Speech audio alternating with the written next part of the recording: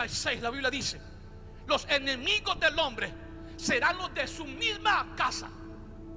Muchas veces el diablo usará a tu propio marido para desanimarte y para que ir al culto si va a llover. Y para que al culto, eh, eh, eh, de alguna manera, en tu misma casa, la suegra, la mujer, el marido, los hijos, cualquiera te va a detener. Parece firme. Dije, parece firme.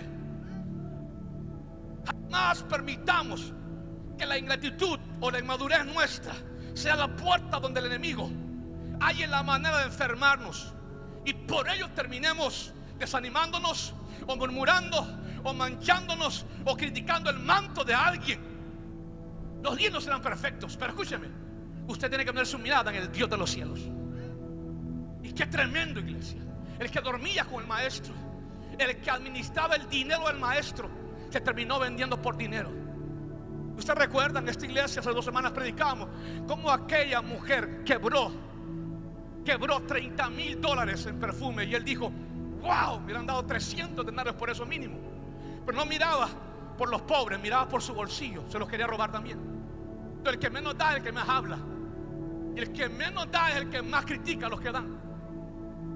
Y al final por dinero terminan muriéndose. 30 piezas de plata. Hoy en día serán 3 mil dólares. Eso valía Judas, no Jesús, Judas. Una fiestecita, eso vale muchos. Una pequeña crítica, eso es que vale mucha gente. Hay que levantar su mano y diga, Padre, dame carácter, dame gratitud. Dígalo fuerte, que no se me olvide.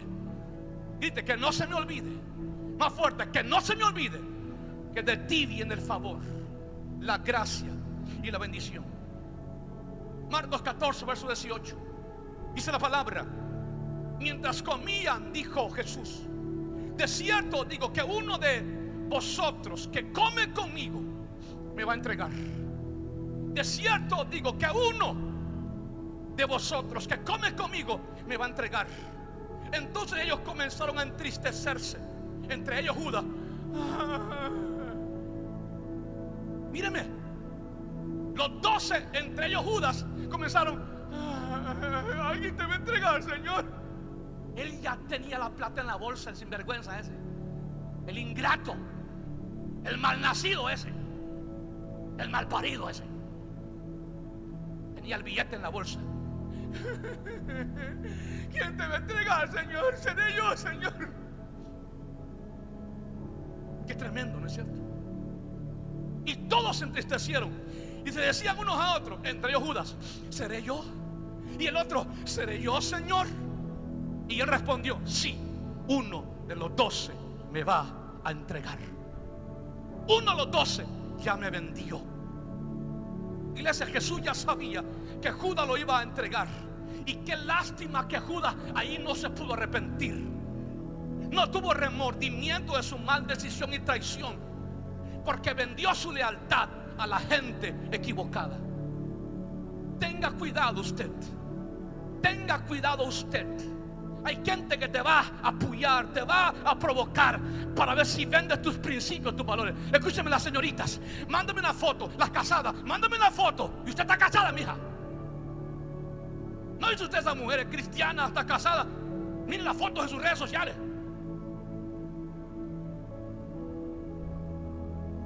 Oígame, no. Se quieta, mujer. Y también hombres de Dios también.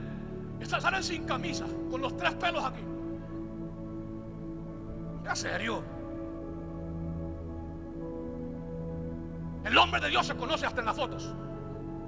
Tu red social habla de Dios también. Tu Facebook, tu Instagram también habla de Dios. Tu estado de tu celular también habla de Dios y de tu santidad. Solitos se venden. Envíame aquí, envíame a mí. La lealtad a Dios no se vende, iglesia. La lealtad a Dios no está en renta. No se presta.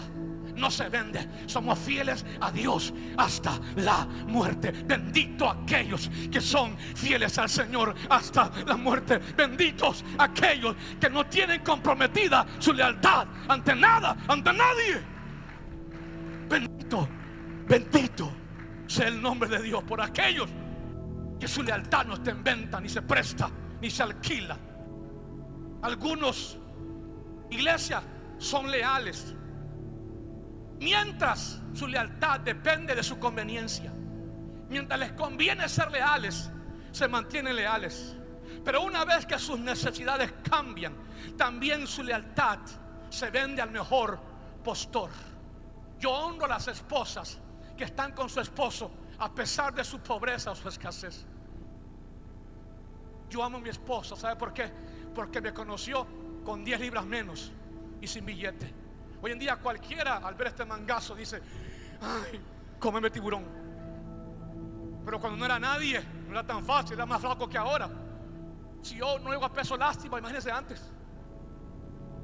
Yo a esa mujer la amo porque desde novios me demostró quién era. Creyó en mí.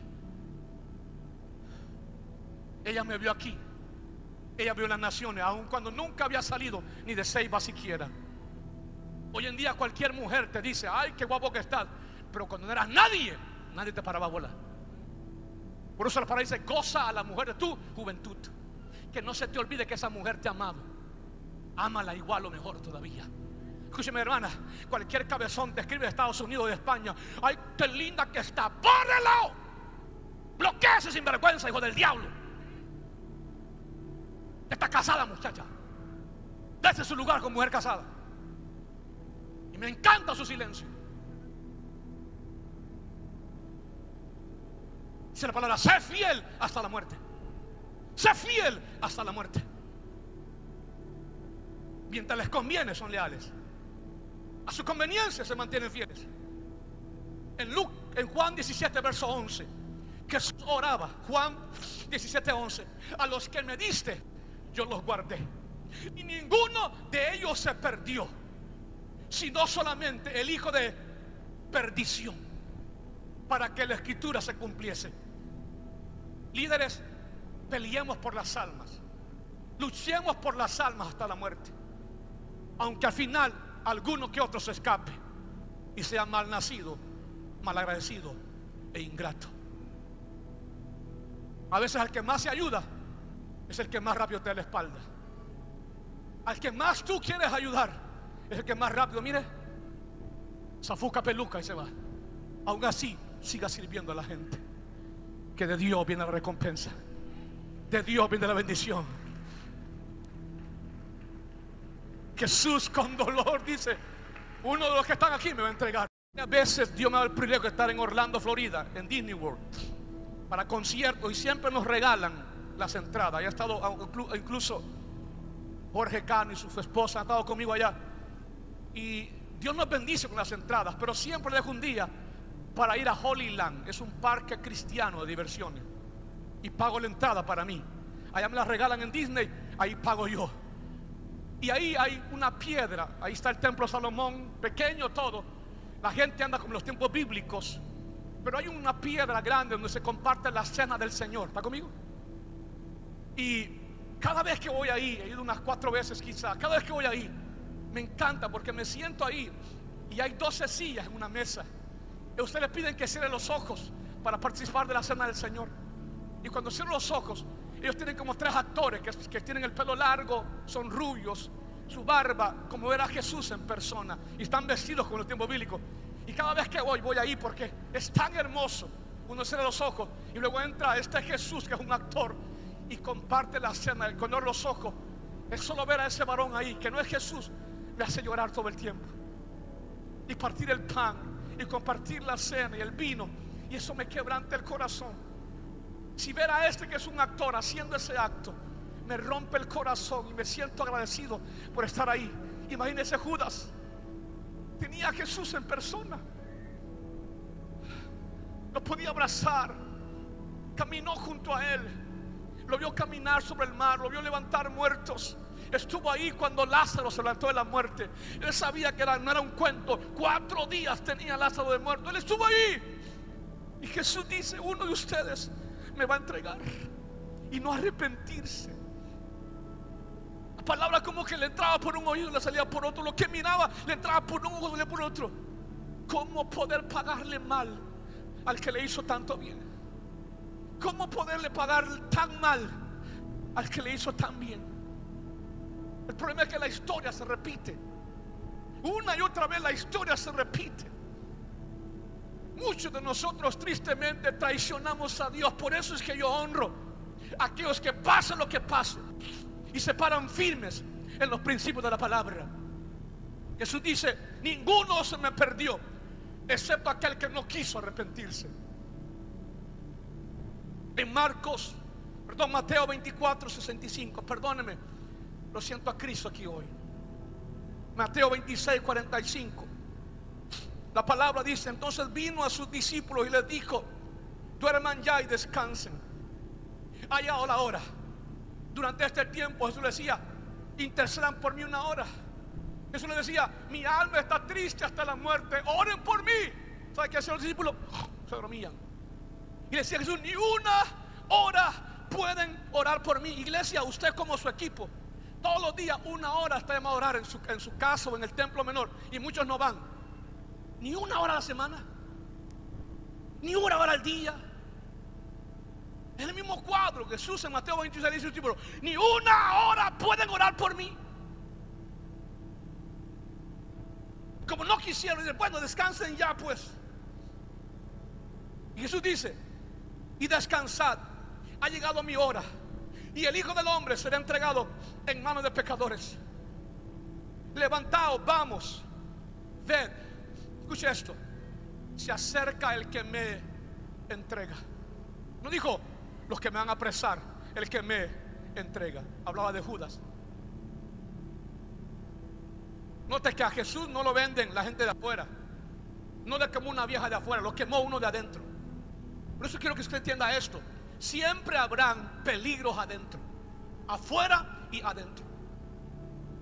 Usted prepara su corazón. ¿Por qué? Porque la gente que tuvo que defenderla muchas veces se queda callada. Usted tiene que pelear firme, pase lo que pase. la ingratitud va agarrando terreno. Judas se volvió insensible. Se le olvidó de dónde Dios lo sacó. Iglesia, levante su mano en alto. Que nunca se nos olvide de dónde Dios nos sacó. Nuestra inteligencia, no es tu capacidad, no es tu cerebro, es la gracia de Dios en ti. Que no se te olvide que es la gracia de Dios en ti, en ti, en ti, en ti, en ti, en ti, en ti, en ti. La gracia de Dios. Nada más que eso. Baje su mano. ¿Te acuerdas Sansón? Nunca estuvo en el pelo la fuerza. Era el Espíritu Santo en él. Y el día que Dalila, después de reiteradas veces que pecó con prostitutas, le corta el cabello, él pensaba que el cabello estaba el poder. No, no, no. Dice, él no sabía que el Espíritu Santo ya no estaba con él. Y ¡boom! Lo apresaron. Tu fuerza viene del Espíritu Santo. Tu ayuda viene del Dios de los cielos. Tu socorro viene del que hizo los cielos y la tierra. Eso está entendido. Jesús dice, ya viene el que me entrega, levántense, despiértense. Escúcheme, con el tiempo todo se descubre. Levántense, diga amigo, con el tiempo todo se descubre. La mentira más oculta, la hipocresía más descarada y el amigo más falso, con el tiempo se descubre. Lucas 22, 47 la palabra, mientras él aún hablaba, se presentó una turba y el que se llamaba Judas, ¿cómo se llamaba? ¿Cómo se llamaba? ¿Cómo se llamaba? Uno de los doce iba al frente de ellos y se acercó hasta Jesús para besarle. Qué hipócrita, ¿no es cierto?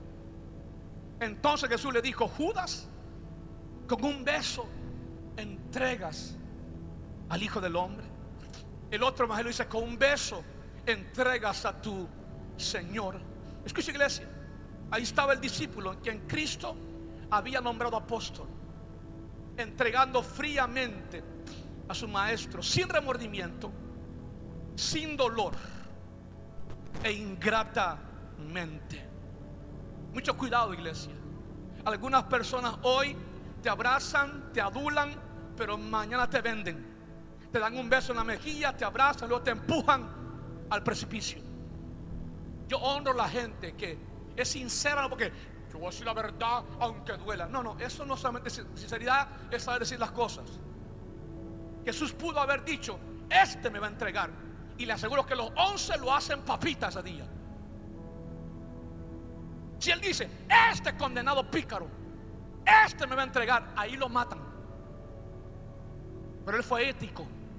Mira que Pedro andaba dos armados, andaba dos ametralladoras, dos R15, cuatro K47, tres machetes y dos yataganes. Este es, ahí se lo echan. Jesús fue íntegro, fue ético. Y aunque sabía que Judas ya tenía la plata en la bolsa, aún así lo amó. No importa cuánto falles, aún así te sigue amando. No importa que tan lejos te vayas, aún así te sigue amando. Aunque seas un sicario, aún así te sigue amando. No importa que tan lejos huyas, aún así esperará por ti, aún así te amará, aún así creerá en ti. Levanta la mano, iglesia, que no se nos olvide que no se nos olvide, que no se nos olvide, que no se nos olvide todo lo que Él ha hecho por nosotros. Baje su mano. Jesús sabe que el que lo vendió es Judas y no lo quema. Es ético. En Mateo 27, verso 3. Dice la palabra, entonces Judas, el que le había entregado, viendo que era condenado, su maestro, devolvió arrepentido las 30 piezas de plata a los principales sacerdotes y a los ancianos, diciendo, yo he pecado, he entregado sangre inocente. Mas ellos dijeron, ¿qué nos importa a nosotros? Allá tú, escúchame señorita, nunca le creas a un hombre cabezón que dice amarte cuando te pide algo que no es correcto. Después de los 20, usted no es una dunda ni bruta, usted va a escoger un buen hombre de Dios, que ame a Dios. Aleluya. Es importante eso, iglesia. Los principales sacerdotes dijeron, allá tú, no nos importa tu vida. Y arrojando las piezas de plata en el templo, salió y fue y se ahorcó. Escuchen mi iglesia, no se pierda esto. Estoy terminando ya. Algo que la palabra lo confirma es que los Judas, los Judas se ahorcan solos. Puede que te dañen un tiempo, puede que te vendan un tiempo, puede que se rían de ti y tengas que callar. Pero el Judas se vende solo y se cuelga solo. Usted sirva a Dios fielmente, sin mirar atrás, puestos los ojos en Jesús. Los Judas se venden solos. Con los Judas no se pelea. Ellos se ahorcan solitos. Y es que mal termina aquel que se deja usar por el diablo para atacar a Dios, a su obra y a los hombres de Dios. Lo pagó caro Judas. Y hago una pregunta, iglesia, y respóndame con el corazón. Póngase de pie. Si Judas pide perdón, ¿lo hubiese perdonado Cristo? Míreme a los ojos, póngase de pie. Si Judas hubiese arrepentido, hubiese sido perdonado. Levante su mano derecha en alto. Dice la palabra: Si siete veces cae el justo, siete veces Dios lo levantará. Si mil veces caes, mil veces te levanta y te perdona. Otra vez, si mil veces le fallas, mil veces te perdonará. Pero te tienes que arrepentir y convertir. La palabra dice lo siguiente.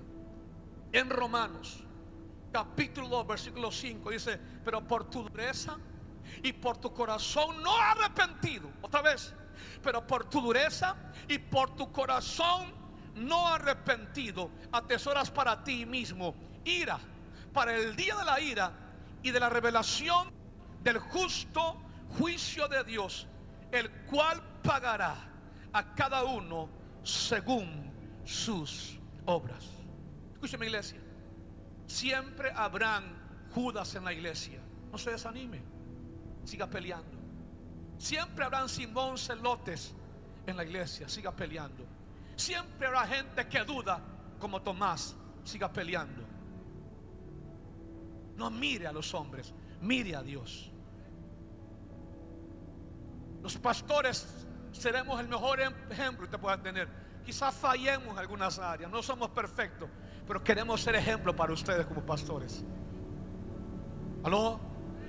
Pero aún así siga creyendo en Dios. Siga creyendo en Dios, porque Él sigue creyendo en usted.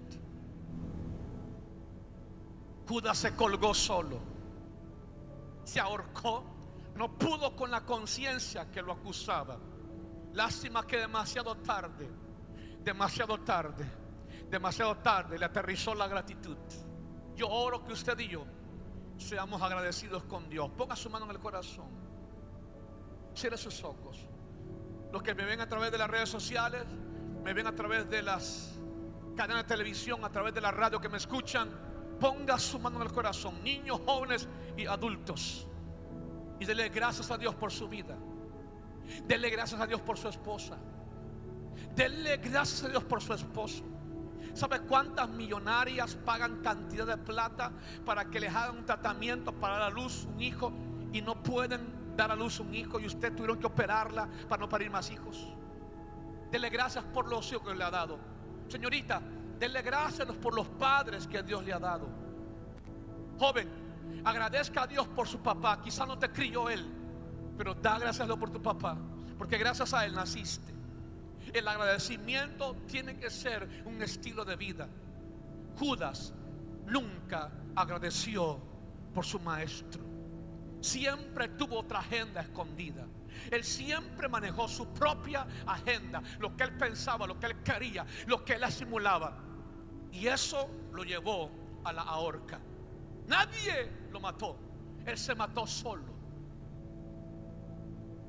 Al ingrato, su desgracia, le recuerda su traición. Pero el agradecido, Dios y la vida le devuelven la bendición. Puede que tú seas bueno y la gente mala, Dios te va a honrar. Ponga su mano al corazón, dele gracias a Dios. Dile, Padre, hoy me acerco hasta el trono de tu gracia para agradecerte. Dile, Padre, me acerco ante el trono de tu gracia para agradecerte